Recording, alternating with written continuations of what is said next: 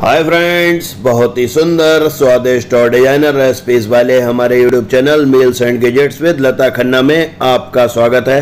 Friends आज हम बहुत ही सरलता से restaurant style creamy cheesy Italian white sauce वाला पास्ता बहुत कम खर्च में घर में बनाएँगे। बच्चे हो या बड़े इटालियन व्हाइट पास्ता का ज़िक्र आते ही सभी के मुँह में पानी आ जाता है। ये व्हाइट सॉस पास्ता रेस्टोरेंट में बहुत महँगा मिलता है। तो चलिए देखते हैं, हम इसे रेस्टोरेंट से भी बढ़िया, और वो भी बहुत कम खर्च में घर में कैसे बना रहे हैं। पास्ता बनाने के लिए हमने एक भगोने में डेढ़ लीटर पानी लेकर उसे फुल फ्लेम पर गैस पर रख दिया है। इसके बाद हमने इसमें एक टीस्पून नमक और आधा टीस्पून कुकिंग ऑयल डाल दिया है। पानी में नमक और कुकिंग ऑयल डालने के बाद हम इसे ढक देंगे और इसमें उबाल आने देंगे। पानी में उबाल आ गया है, अब हम इस गर्म पानी में दो कप पास्ता डाल देंगे। हम पानी में उबलने के लिए दो अलग अलग डिज़ाइन का पास्ता डाल रहे हैं। इस पास्ता को हम बीच बीच में चलाते हुए उबालेंगे।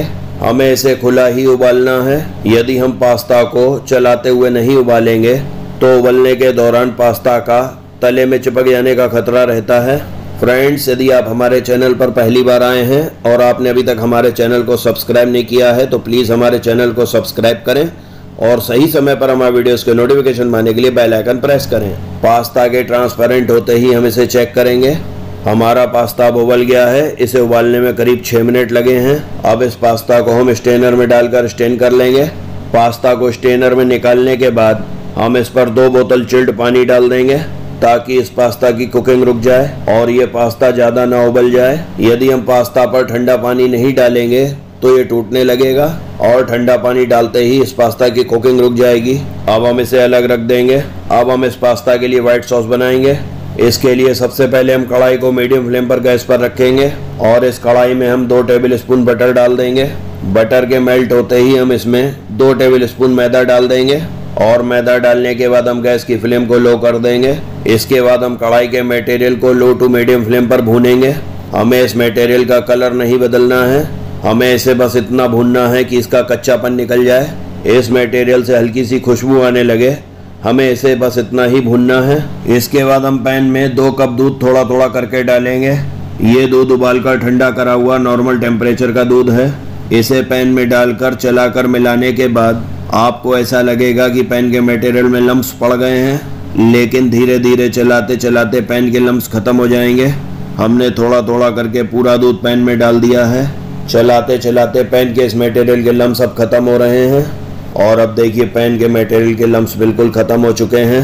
और ये कितना अच्छा बनकर तैयार हो चुका है। इसके बाद हम पैन में वन फोर्थ टी स्पून नमक one fourth teaspoon chilli flakes one fourth teaspoon oregano और वन फोर्थ टी स्पून काली मिर्च पाउडर डालकर इसे अच्छे से चलाकर मिला देंगे।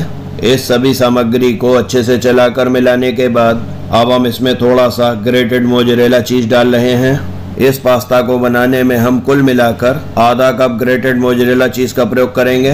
One fourth cup mozzarella cheese हमने पैन में डाल दिया है। बचे हुए वन फोर्थ कप मोजरेला का प्रयोग हम बाद में करेंगे। हमारी व्हाइट सॉस सब तैयार हो गई है, अब हम इसे ढककर रख देंगे। अब हम एक पैन को मीडियम फ्लेम पर गैस पर रखेंगे और इस पैन में हम दो टेबल स्पून बटर डालेंगे। बटर के मेल्ट होते ही हम इसमें आठ दस कली चॉप्ड गार्लिक की डाल देंगे। बटर में गार्लिक डालने के बाद हम इसे आधा मिनट तक चला लेंगे। पास्ता में डालने के लिए हमने कुछ सब्ज़ियाँ चौकोर काट कर रख ली हैं। अब इन सब्जियों को हम पैन में डाल देंगे। सबसे पहले हम पैन में दो टेबल स्पून प्याज डाल देंगे। इसके बाद हम पैन में दो टेबल स्पून स्वीट कॉर्न, दो टेबल स्पून येलो कैप्सिकम, दो टेबल स्पून गाजर और दो टेबल स्पून टमाटर डाल देंगे। ये सभी सब्ज़ियाँ हम पैन में डालकर इन्हें एक मिनट तक पका लेंगे।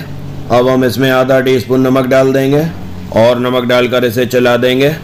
अब हम इसमें आधा टी स्पून चिली फ्लेक्स और आधा टी स्पून डाल देंगे। इसके बाद हम इसमें वन फोर्थ टी स्पून काली मिर्च पाउडर डाल देंगे। ये सभी मसाले डालने के बाद हम इसे अच्छे से चलाकर मिला देंगे। इसके बाद हम पैन में व्हाइट सॉस डाल रहे हैं। अगर ये व्हाइट सॉस रखे रखे ज़्यादा गाढ़ा हो गया हो तो आप इसमें थोड़ा सा दूध डालकर इसे चला लें और इसकी कंसिस्टेंसी सही कर लें। अब इस व्हाइट सॉस को हम सभी सब्जियों के साथ चलाकर मिला लेंगे और इसके बाद हम पैन में पास्ता डाल देंगे। हमने पैन में उबाला हुआ पास्ता डाल दिया है। पैन में पास्ता डालने के बाद हम गैस की फ्लेम को फुल करके इसे 15 से 20 सेकंड तक मिक्स करेंगे। इसे अच्छे से मिक्स करने के बाद हम इस पर ऊपर से one fourth cup grated mozzarella cheese और डाल देंगे और इस मोजरेला चीज़ को अच्छे से चलाकर पास्ता में मिला देंगे। हमारा व्हाइट सॉस वाला ये पास्ता फाइनली अब तैयार हो चुका है।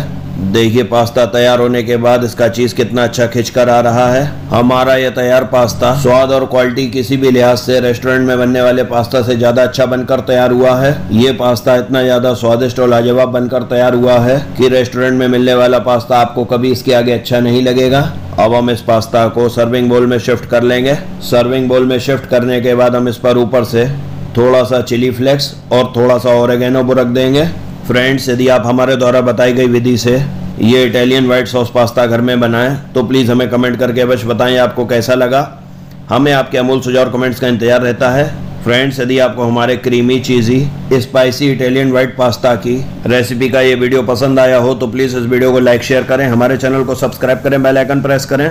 हमारी अन्य स्वादिष्ट रेसिपीज़ के वीडियो के लिंक इस वीडियो के अंत में और आई बटन में पड़े हुए हैं। Thank you for watching